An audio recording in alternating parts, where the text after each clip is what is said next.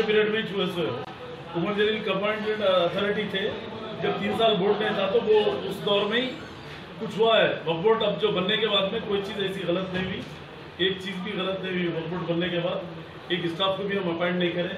ना प्रीवियस में two thousand one से फोर तक था, जब भी हम नहीं करें, ना अभी अभी करें। और यहाँ पर सब पूरे मेंबर्स भी फ्री सर्विस दे रहे हैं यहाँ पर।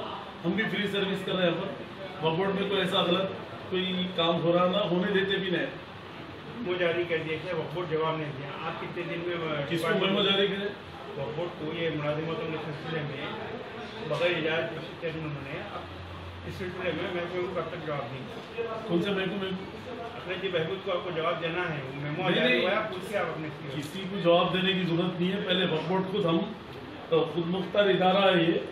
वक्फ बोर्ड ऑटोनॉमस बॉडी है। सुनिए नहीं, मेरा सवाल वो था। होगा तो मैं बोलो ना आप सुन लिया एक्ट के हिसाब से सेंट्रल एक्ट है ये सुनिए लिखिए आप। सेंट्रल एक्ट है ये ऑटोनॉमस पार्टी है वक्फ बोर्ड किसी को जवाब देने का नहीं रहता।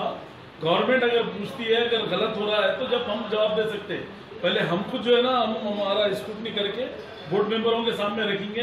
बोर्ड में रेजोल्यूशन लिखेंगे किसको रखना है नहीं रखना है स्टाफ क्या है किधर है। उसके बाद में अगर गवर्नमेंट पूछती है तो हम एक कापी दे देंगे गवर्नमेंट ये हमारा बोर्ड में ये स्टाफ है ये नहीं है जो भी है। हमको तो अभी बोलो या मत बोलो हमको तो उसको स्क्रूटनी कर रहे। हैं हमको स्टाफ का जो है क्या है पूरा डिटेल में जा रहे हैं हम। साजिशनामों का इंकेशाफ होने का जो की ज़रूरत समझ रहे नहीं नहीं कमेटी में खुलासा कर है वेरीफाई कर लेंगे पूरा सीरियसली जब हम पूरा जवाब देंगे तो मीडिया को बोलेंगे हाउस कमेटी में भी जवाब देंगे।